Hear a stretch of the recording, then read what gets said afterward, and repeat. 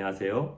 찬양사역자 심삼종 교수입니다. 사망 권세 이기시고 부활하신 우리 예수님을 기쁨으로 찬송하고 예배하는 이 마음을 담아서요.